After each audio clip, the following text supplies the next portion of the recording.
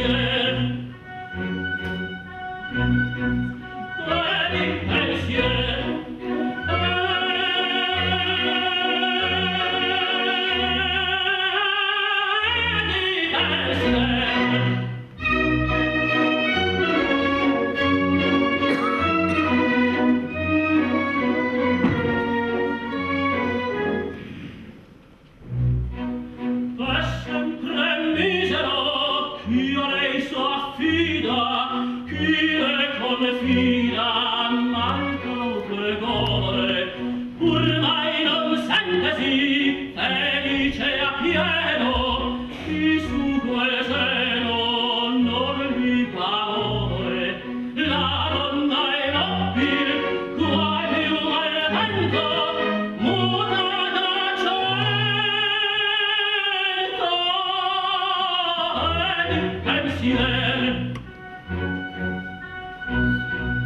ma di pensieri.